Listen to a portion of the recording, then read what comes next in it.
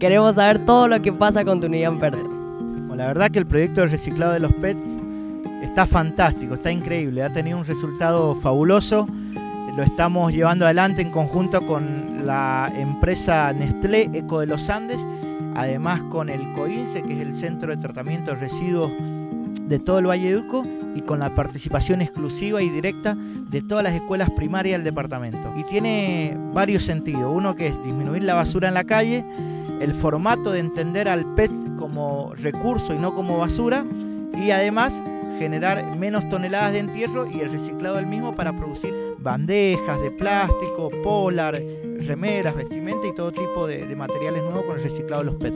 Hola, aquí estamos con una señorita. Eh, ¿Qué van a hacer? ¿Cómo es la actividad? De... Bueno, ahora vamos a estar recorriendo por la parte del centro de Vistas Flores. Hoy día hemos preparado una actividad de recolección de botellas. Y una primera parada va a ser en la radio del pueblo para contarle un poco a la gente lo que estamos haciendo y si pueden colaborar con nosotros.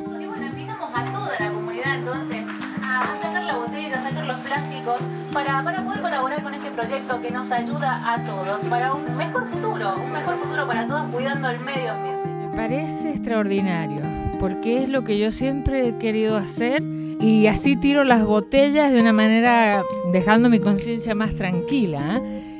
Sigamos adelante, la familia entera tiene que participar. Esto significa cuidar el agua, cuidar el medio ambiente y vivir en un pueblo más que, por sobre todas las cosas, cada día más lindo.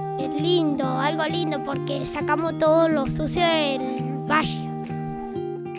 Esto fue un día de recolección para el programa Tunuyán Verde. Saludos a todos los chicos del mundo.